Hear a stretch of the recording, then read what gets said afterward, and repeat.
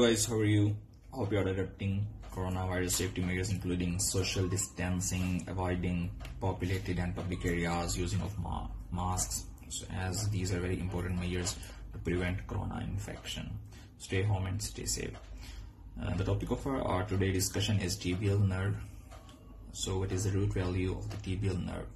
The tibial nerve has the root value of uh, ventral division of ventral rami of L4 to S3 segments of the spinal cord. This is the root value of tibial nerve. The tibial nerve is the nerve of the posterior compartment of the leg or flexor compartment of the leg. This is root value. Now talking about the course of the tibial nerve. The tibial nerve begins at the superior angle of the diamond shaped popliteal fossa. So this is the popliteal fossa as it is the content of the popliteal fossa. It uh, descends vertically downward and uh, passing through the inferior angle of the popliteal fossa and it lies superficial to the popliteal vessels. Uh, this is the course of the tibial nerve in the popliteal fossa. Now the nerve enters in at in the back of the leg. In the back of the leg, it lies and uh, it lies between the tibialis posterior muscle, tibialis posterior, and uh, flexor digitorum longus muscle.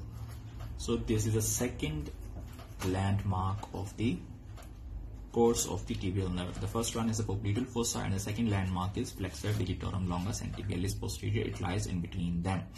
Then it descends downwards and uh, the third landmark is the flexor retinaculum that lies medially. Flexor retinaculum. Retinaculum.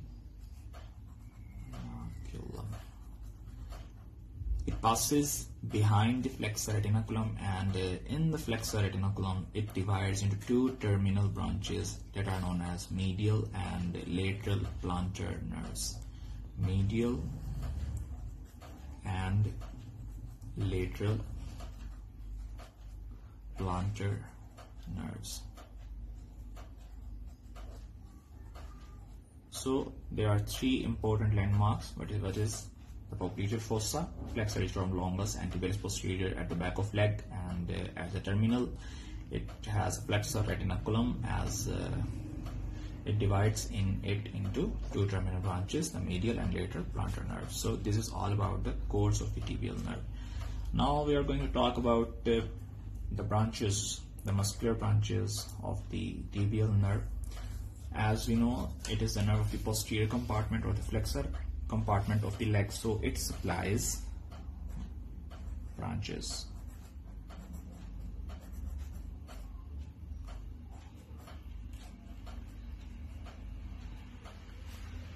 all the muscles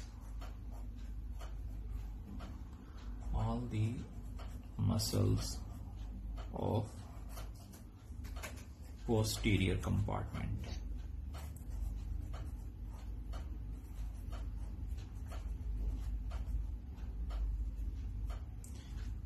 This is these are the muscular branches muscular.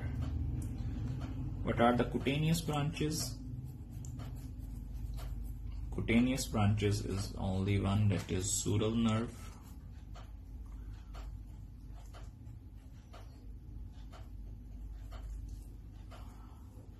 and the terminal branches are the medial and later plantar nerves so at last we are going to talk about uh, the clinical importance of the tibial nerve.